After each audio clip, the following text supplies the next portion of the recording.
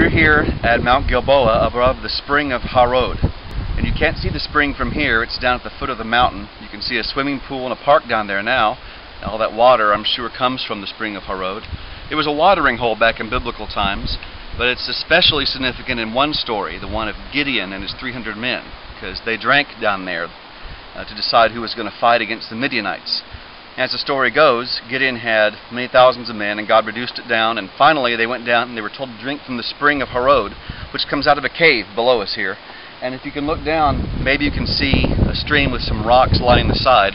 It's a pretty low flow now compared to what it was, but that is water flowing out. And uh, that's in that area is where Gideon's men would have drank. 300 did it correctly. And then that night, they fought the Midianites. If you look across the valley, that is Mount Moreh. The Bible says the Midianites were camped over there, possibly on the left side where you see that town. There's water there, uh, but we don't know exactly where, but over by Mount Moreh. But at night, Gideon's 300 snuck across this valley, surrounded the Midianite camp, probably on the mountain, and then they had torches they uncovered, blew trumpets all at once. The Midianites panicked, fought amongst themselves, and ran for home, which would be that way, to the east, straight down this pass here to the Jordan River.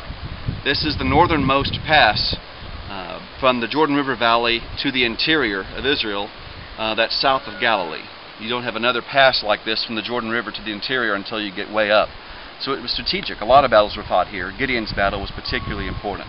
Gideon pursued them to the east, crossed the Jordan River, and continued his fight, won a great victory there. Anyway, here you can see the entire story of Gideon's battle, illustrated in this area. It's all right here together. The locations, the geography, hope this is interesting.